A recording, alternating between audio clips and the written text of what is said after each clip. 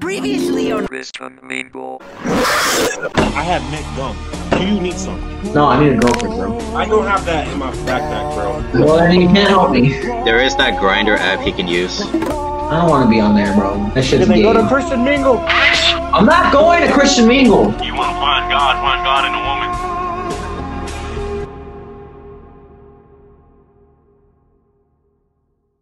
That's exactly how you look in your damn pictures.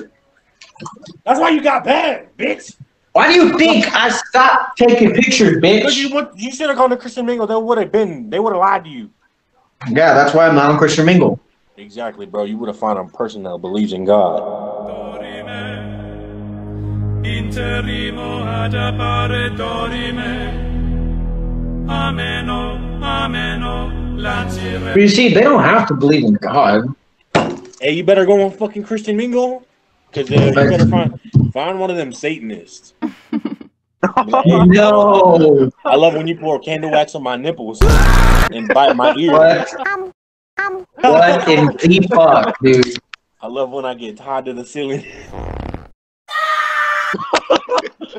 oh, God.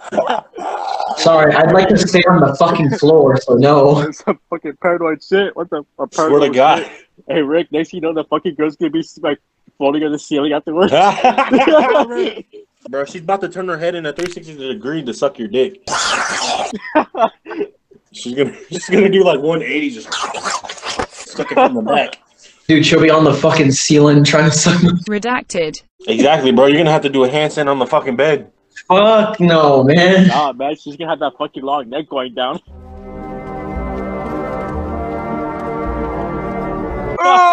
Ah, no.